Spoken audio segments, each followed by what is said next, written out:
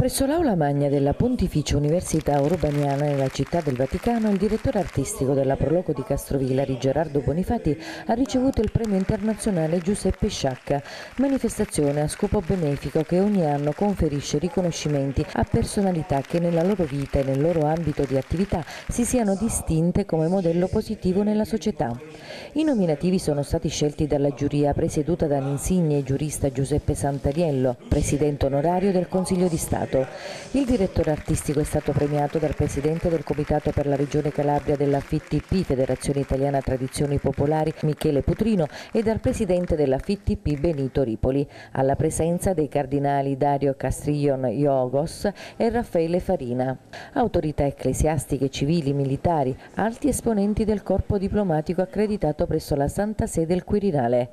L'evento è stato presentato da Savino Zaba, attore e conduttore televisivo per la RAI. Un momento sicuramente carico di emozioni che Bonifati ha voluto condividere con i componenti del gruppo della Proloco che lo hanno accompagnato. Una soddisfazione personale perché eh, chi è designato è Gerardo Bonifati, ma è un premio che condivido con tutti i ragazzi del gruppo folclorico, con tutta la Proloco, perché è un premio che appartiene a tutti noi, le, le cose importanti che stiamo riuscendo a fare, dove io riesco ad apparire è perché solo e esclusivamente c'è alle spalle un lavoro di equip di un'intera associazione che ormai ha profuso tutti i suoi impegni per realizzare un progetto importante, quello di recuperare tutte quelle che sono le eh, nozioni, eh, tutte quelle che sono le scoperte legate alla tradizione popolare castrovillarese. E pertanto ovviamente ritengo che questo riconoscimento appartiene ai ragazzi del gruppo, alla Proloco e all'intera città di Castrovilla e ancora con l'antropologo, il professor Leonardo Alario, con il critico d'arte Gianluigi Trombetti, con il presidente della Proloco Giovanni Amato e ancora con il segretario generale della Proloco Gerry Rubini. Certamente giungeranno anche altri riconoscimenti, perché in un momento in cui pare che tutto taccia rispetto alla cultura di tradizione orale, eh, quando si crea un movimento opportuno perché si rifondi la propria identità quotidianamente, allora questo deve far piacere. È un traguardo, ma è soltanto l'ultimo. Sicuramente ne avremo molti altri e sempre più importanti. La Proloco per Castrovilleri attualmente eh, rappresenta un treno, un locomotore trainante della nostra cultura, almeno quella popolare che è importantissima perché la nostra società è di origine contadina e sicuramente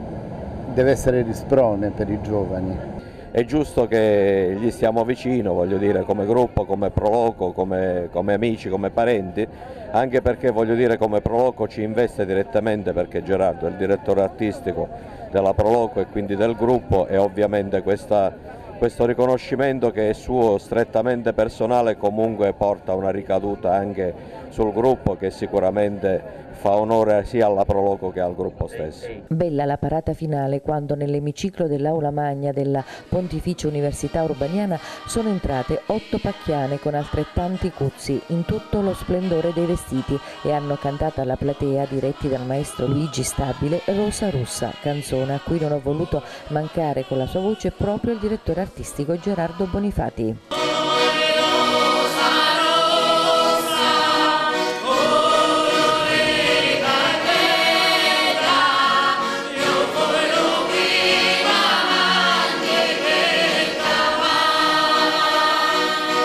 Ventata di vitalità e entusiasmo entrata in Vaticano con la premiazione del piccolo Godi McCasland, vincitore assoluto del premio internazionale Giuseppe Sciacca. Godi è un ragazzo di 11 anni che, privato degli arti inferiori dall'età di 15 mesi, è dotato di straordinarie capacità atletiche e umane che gli permettono di gareggiare in numerosi sport, compiendo allo stesso tempo attività di supporto psicologico per tante persone nelle medesime condizioni. In considerazione delle sue eccezionali principali qualità umane, il Ministero della Difesa USA lo ha scelto per dare conforto ai militari sottoposti ad amputazioni.